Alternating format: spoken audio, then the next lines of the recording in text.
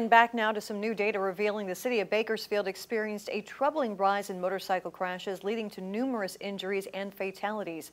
Eyewitness News reporter Leslie Valle joins us now in studio to reveal what factors are driving this trend. Leslie.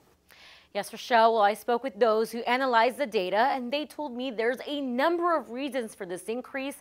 And the purpose of sharing those reasons is for driver awareness. We're as bad as it gets and this is another statistic that unfortunately bears that out. Matt Clark, managing partner at Chain Clark, says his firm looked at data that shows Bakersfield saw a nearly 30% increase in motorcycle crashes in 2023. That statistic surpassed the nation's average by 10%. The firm examined data accumulated by the state of California.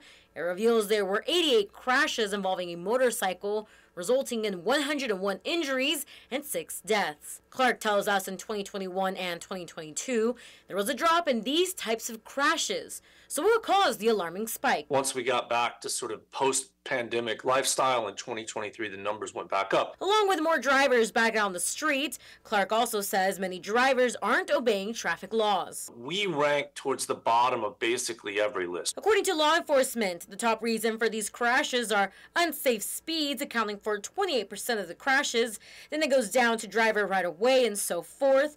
At the bottom of the list is DUI, accounting for only 13% of crashes. However, Clark says just because DUI is at the bottom of the list, that doesn't mean it's not an issue. It is every bit as big a problem today as it's been uh, in, in the past several years. Eyewitness News spoke with the family of a violent crash victim in 2023.